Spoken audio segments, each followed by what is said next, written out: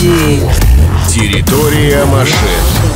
Всем привет! С вами «Территория машин». Программа об автомобилях, событиях и людях. Меня зовут Максим Колесников.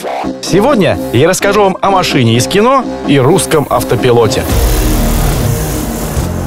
Компания DeLorean открыла прием заказов на купе DMC-12. Да-да, это именно тот автомобиль, который снимался в фильме «Назад в будущее», и это не новости середины 80-х. О технических характеристиках автомобиля пока ничего не известно.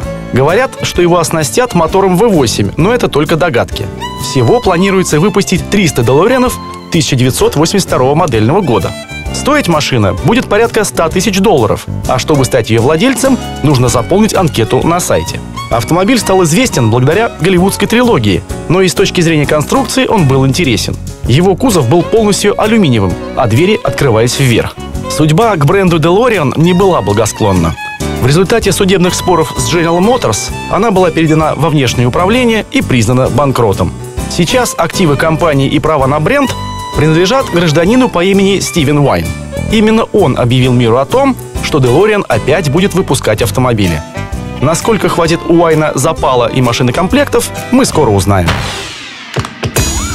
Волна автопилотирования всего, что можно, докатилась и до нашей страны.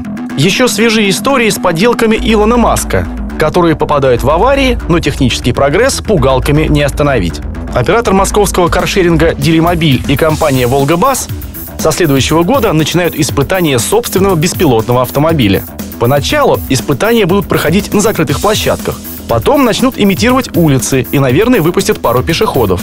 Уж потом автомобили выпустят в город. Первое время в автомобиле будет находиться специально обученный человек, который будет следить за тем, чтобы робот чего не выкинул. Когда отладка оборудования закончится, автомобилем можно будет управлять с помощью голосовых команд.